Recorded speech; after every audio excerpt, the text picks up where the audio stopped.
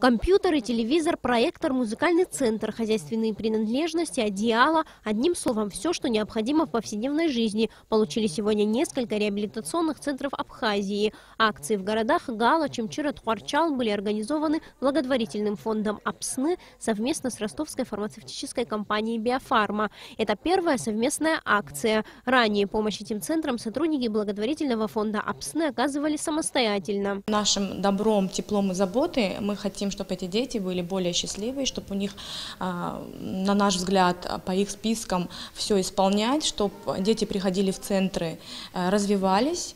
И я думаю, что мы готовы на другие проекты с Международным фондом ОПСНы проводить.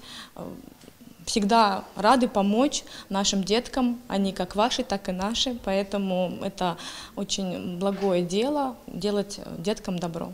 Сегодня на попечении реабилитационного центра в Гале более 100 детей. Ежедневно с ними здесь занимаются опытные врачи и преподаватели. Работники центра с сожалением отмечают, что количество детей с каждым годом увеличивается и возникает необходимость расширения центра. Специалисты говорят, что любая помощь для них бесценна, ведь у центра сегодня нет возможности самостоятельно приобретать все необходимые вещи. Мы очень благодарны фонд Международной организации АПСНИ, потому что они уже давно нам поддерживают. Это очень э, важно для нас и особенно очень важно для детей. Благотворительный фонд «Апсны» был создан три года назад. По сей день он продолжает оказывать помощь многим организациям, а также малоимущим семьям. К примеру, все оборудование, которое имеется в этом центре, приобретено за счет средств фонда. Компания «Биофарма» не так давно начала проводить благотворительную миссию на территории Абхазии, но уже зарекомендовала себя как надежный партнер и помощник во многих делах.